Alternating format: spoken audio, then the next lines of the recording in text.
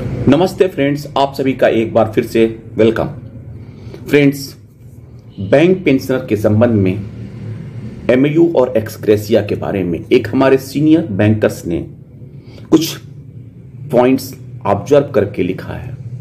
Dear pensioner some reliable resources quote based on MU and your B U leaders statements first the quantum of ex gratia will be finalised before the end of January 24. Second, it will be only interim relief. आपको एक दो दिन पहले मैंने एक message share किया था जिसमें यह बात श्री सी एस वेंकटाचलम ने एक हमारे पेंशन एक्टिविस्ट से बात करते हुए कहा कि it is an interim relief third it will be ad hoc third a it will be stop cap arrangement only.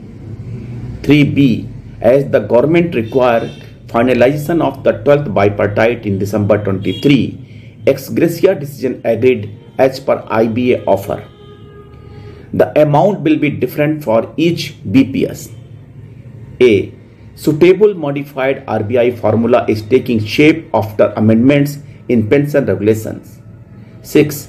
It may not come with merger as any increase in basic may be considered as revision.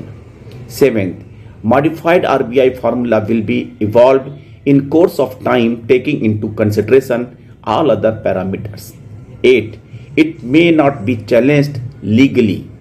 Ninth, the effective date may be prospective or from 1st November 22. Second, 10th, the ex concept may be banished on implementation of revised formula. 11th, if it is retrospective, it will be summarized in the revised formula. 12th, some retiree association also stopped the development. Sub is uh, supported the development. After a long wait of 30 years, we will be getting the additional relief of ex gratia as the pensioners as present getting dear relief only with west wishes friends एक दो बातें तो सच में है कि जैसा कि बेकंटचलम ने कहा कि this is an interim relief लेकिन एक्सग्रेसिया का एक्चुअल शेप स्वरूप क्या होगा? जबकि एमयू में पार्ट में जो पैरा फिफ्थ है, उसमें इस प्रकार का कोई डिटेल्ड नोटिफिकेशन नहीं है। कि whether it is interim relief या हम पेंशन अपडेशन के लीव पे दे रहे हैं, या इसका क्या अमाउंट होगा, या बाईपार्टाइट वाइज होगा, या कोई फिक्स्ड अमाउंट जो हम ये फिक्स कर देंगे कि fifth six seventh eighth nine tenth इस, इसके लिए ये ये अमाउंट होगा। ऐसा कुछ नहीं है। और ना कोई भी लीडर्स अपना मुँह खोलने को तैयार है। Even mister बंदलिस, even mister C H Venkatachalam, जो कॉन्फ्रेंस में पार्टिसिपेट कर रहे हैं, बता रहे हैं, और ट्वेल्थ बाईपटाइट के बारे में बात कर रहे हैं। लेकिन एक्सग्रेसिया के बारे में कोई ऐसा हिंट नहीं आ रहा है कि जिससे डिटेल के बारे में पता चले। अब नेक्स्ट जो मीटिंग होगी बाईपटाइट सेटलमेंट के लिए, जहाँ पे कुछ बातें हो सकता है वो क्लियर हो।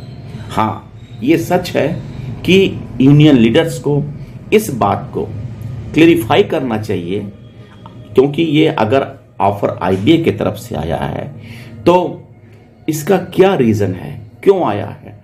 और किस प्रकार का रिलीफ ये पेंशनर को देना चाहते हैं? इस बारे में बातें डिटेल होनी चाहिए, ताकि जो हमारे लगभग सात, साढ़े सात लाख पेंशनर हैं, उनके मन में जिज्ञासा है कि अगर हमें कुछ मिलने के लिए उम्मीद है तो वो किस शेप में होगा, किस फॉर्म में होगा?